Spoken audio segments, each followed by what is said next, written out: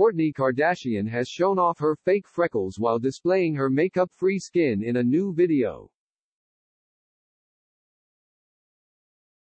Kourtney, 43, appeared to be playing with a face filter in her Instagram story. The Kardashian star seemed to have freckles on her natural skin and had a sparkling twinkle next to her eye.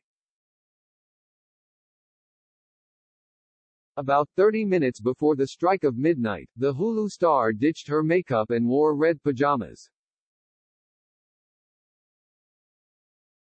Kourtney explained she was just relaxing as she posed bare-faced for the camera. The reality star promoted Lemme Chill and said, I am about to read some of your reviews and post some of my faves.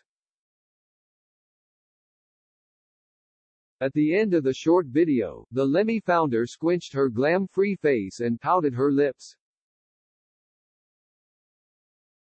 Meet Lemme. In September 2022, the U.S. Sun exclusively revealed Kourtney's new venture into vitamin gummies with her business partner Simon Huck, who is the owner of the successful New York public relations firm Command Entertainment Group. The TV personality has been working on her vitamin and supplement brand for the past five years. During the launch, she shared in a lengthy post, I've been dreaming of this idea, having lots and lots and lots of meetings and conversations with different people trying to figure out the best way to build this, the right partners and building the team that felt really good. Kourtney and her ex, Scott Disick, 39, share their three children, Reign, 7, Penelope, 10, and Mason, 12.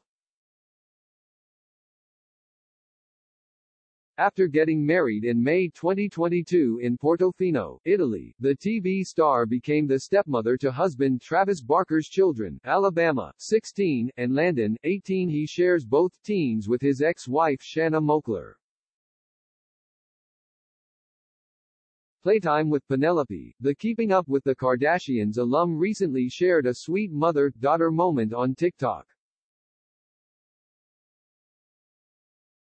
The Keeping Up with the Kardashian star sported a gray hoodie as part of her short dark locks were pulled back.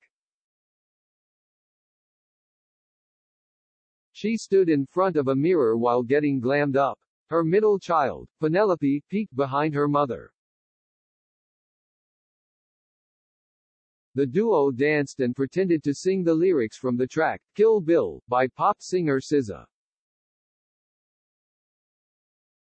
The pair mimicked the line, I might kill my ex, not the best idea. Unfortunately, fans did not find the music video amusing and speculated the song was a reference to Kim's former partner. One critic claimed that the former E! star knew what she was doing with the lyrics, while another critic said, feels slightly inappropriate to be in this video with Penelope when it's about her dad. After nearly a decade together, the exes ended their long on and off relationship in July 2015.